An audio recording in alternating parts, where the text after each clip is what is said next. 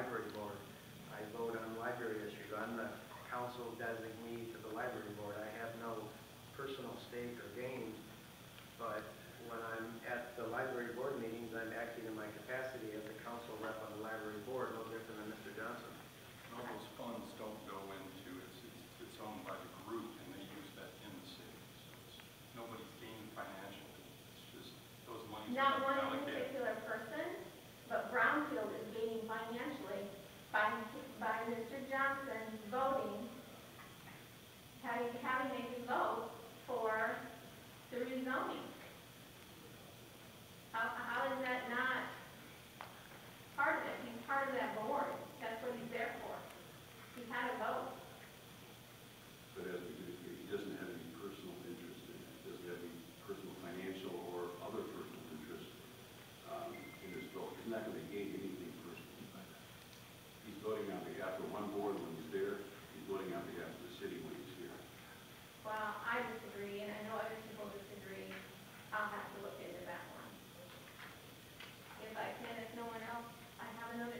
Thank you very much.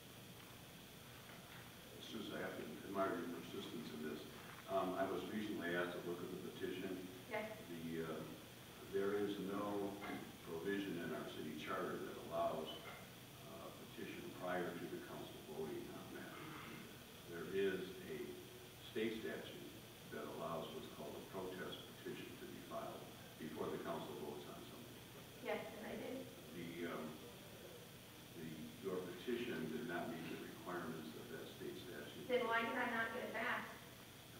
Where is it? It's not up to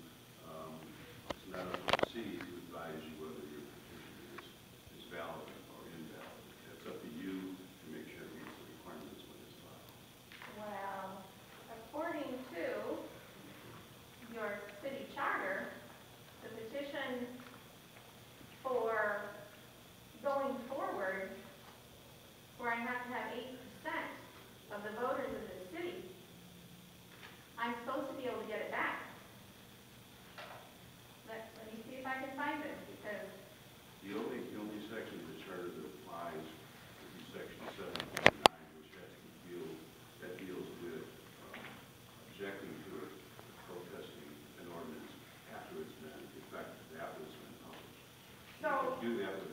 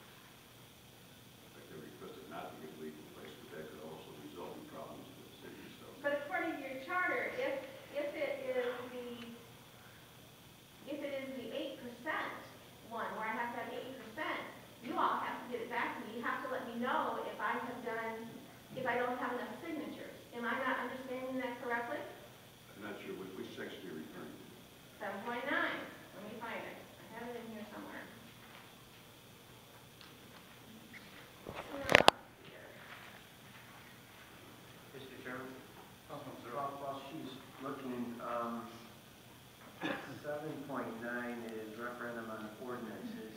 Is a rezoning fall under this category?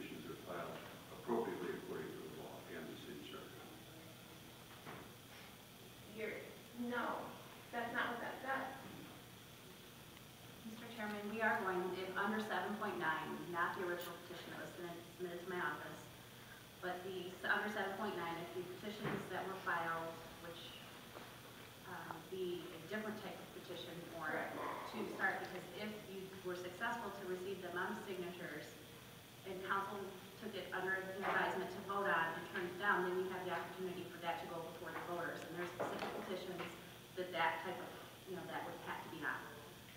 so yes, it does say in the charter that we do have to notify you if there's an insufficiency with your petitions. On this petition that was submitted to my office, it makes no reference of the law involved.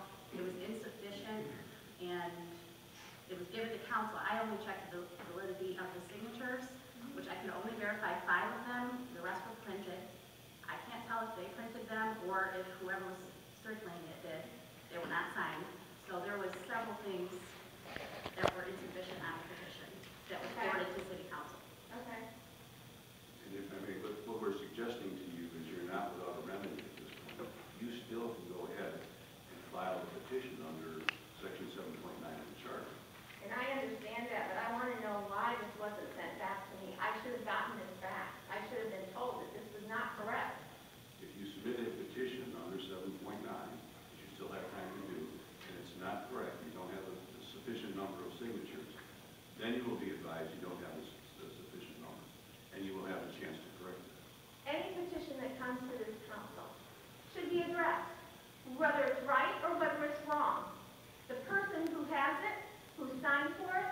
Get notice that is incorrect. That is not legal advice.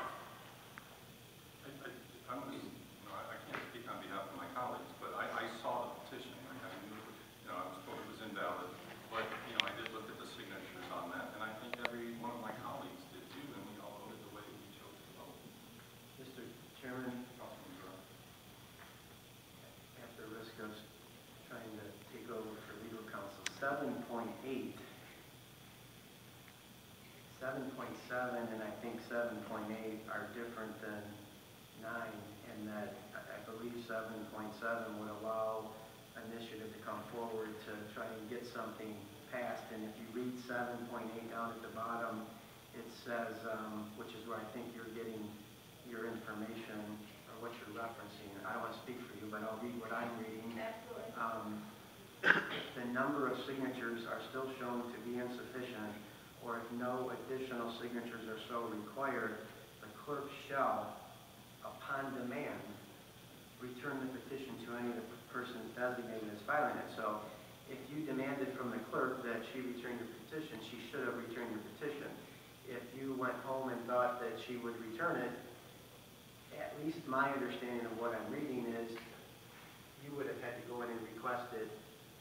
I still don't think that this provision is what you're trying to accomplish, and seven point nine is the route you can go, and you still have time to do that. Um, maybe lost a little bit of time, but you definitely still have, um, your course of action under seven point nine. I'm not sure seven point seven or seven point eight apply, and I'm not sure the way it's written that our clerk did anything incorrect. I don't, I'm not saying she did, she's been stellar in all of mean, to, to your opinion, that we should have given it back, but it really reads that you would have the demand or request, and I'm sure she would have complied with that